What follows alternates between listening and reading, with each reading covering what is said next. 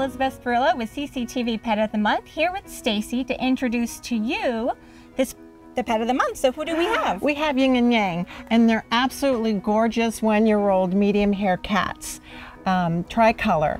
And the great thing about these guys have been brothers their whole life, and well, of course, they love each other.